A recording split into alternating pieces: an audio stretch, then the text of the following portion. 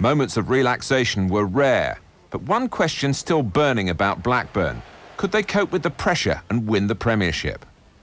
I see Blackburn Rovers winning the title within these next 7 to 14 days. And also Alan Shearer, he'll score four goals this weekend. Shearer didn't score at all on Easter Saturday,